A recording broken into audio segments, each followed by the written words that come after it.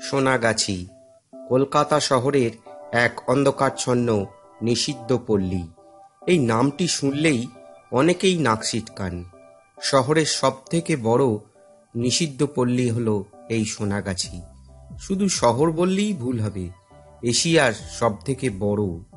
শোভাবাজার থেকে central avenue ধরে একটু এগিয়ে গেলেই এই এলাকা।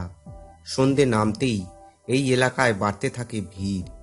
যেখানে সূর্য ডুবতেই শুরু হয় আদিম ব্যবসা। তা চলে গভীর রাত পর্যন্ত। যদি রাস্তা চেনা থাকে, তাহলে অনেকেই তা এড়িয়ে চলেন। আর যারা চেনেন না না বুঝে শুনি ঢুকে পড়েন এই সমস্ত এলাকায়। এই জায়গা সম্পর্কে অনেকের অনেক কিছু ধারণা আছে। এই ধারণা কিছুটা হলেও ভুল। আসুন, এই জায়গার সেই ভুলগুলো ভাঙিয়ে কিছু অজানা রোমহর্ষক তথ্য আপনাদের সামনে তুলে ধরি। সোনাগাছি ভারতের বৃহত্তম নিষিদ্ধ পল্লী। এই অঞ্চলের কয়েকশো বহুতল, প্রায় দশ হাজার জন কর্মী এই আদিম নিষিদ্ধ পেশার সাথে এখানে যুক্ত। কিংবদন্তি অনুসারে, এককালে এই এলাকার মালিক ছিলেন সানাউল্লাহ বা সোনা গাজী নামে এক মুসলমান ধর্মগুরু। সেই গাজীর মাজার এখনও এই এলাকায় রয়েছে। সোনাগাছির এই কর্মীদের একটা বড় অংশ আসেন নেপাল আর বাংলাদেশ থেকে বাঙালি নিষিদ্ধ কর্মীদের সংখ্যা এখানে ক্রমশ কমে আসছে। নেপালি, রাজস্থানী আর আগরওয়ালিদের আধিক্য এখন এখানে। সোনাগাছিতে এক রাত্রের আনন্দের জন্য তিনশো থেকে দশ থেকে পনেরো হাজার টাকা পর্যন্ত খরচা হতে পারে। পারিশ্রমিকের এত বৈচিত্র্য ভারতের আর কোনো নিষিদ্ধ জায়গাতে বিরল।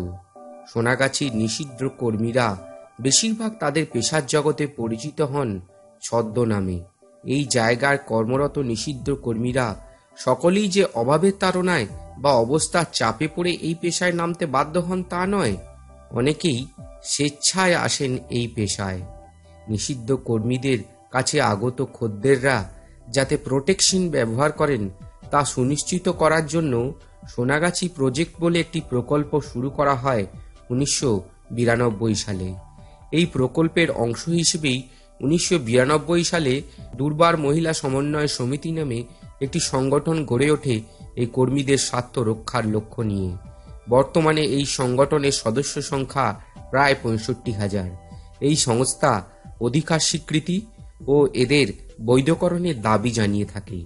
এছাড়া তারা বিভিন্ন শিক্ষা ও কর্মসংস্থানগত কর্মসূচি পালন করে এবং ক্ষুদ্র ঋণ বা মাইক্রো ঋণ দিয়ে থাকে। বাংলা ভাষায় দুর্বার কথাটির অর্থ হল অপ্রতিরোধ্য। আঠারোশো আশি সালে অজ্ঞাতনামার লেখকের হাতে রচিত হয়েছিল বৈশ্যলীলা। নাটকটির প্রেক্ষাপট ছিল এই সোনাগাছি। তারপর থেকে আজ পর্যন্ত বাংলায় অনেক সাহিত্যই লেখা হয়েছে সোনাগাছির প্রেক্ষাপটে। সোনাগাছিতে বসবাসরত শিশুদের নিয়ে জানা ব্রিস্কি ও রফ কপম্যান তৈরি করেন documentary born into brothels Calcutta's red light kids ফিল্মটি সেরা ডকুমেন্টারি হিসেবে দু সালে অস্কার জেতে। তবে এসবের পরেও কিছু কথা থেকে যায়। এত কিছুর পরেও দেখা গেছে, এখানে এই আদিম ব্যবসার আড়ালে চলতে থাকে আরও নানান ব্যবসা। আর গোটা কলকাতাকে নিজের মতো করে বিনোদন জুগিয়েও তাই তাদের থেকে যেতে হয় ব্রাত্য। গোপন। এখনও সেখানকার বাসিন্দারা তাই অন্যদের থেকে আলাদা। গলি দর্শ গলির মধ্যে দিনের পর দিন কাটিয়ে যেতে হয়, এক চিলতে স্যাঁতস্যাঁতে একটা ঘরে। খদ্দেরের অপেক্ষায় ঠোঁটে লিপস্টিক ঘষে চড়া মেকআপ করতে হয় দিনের বেলাতেও। অভাবের তাড়না, প্রয়োজন, কারণ খদ্দের হলো লক্ষ্মী। তবে আসার কথা, এনজিও বা বিভিন্ন প্রকল্প ছাড়াও বর্তমানে সরকার থেকেও কিছু উদ্যোগ নেওয়া হচ্ছে। আজকাল এদের সন্তানদের অনেককেই সমাজের মূল স্রোতে ফিরিয়ে আনার চেষ্টা করা হচ্ছে। সরকার থেকে বিভিন্ন ব্যবস্থা করে তাদের লেখাপড়াও শেখানো হচ্ছে।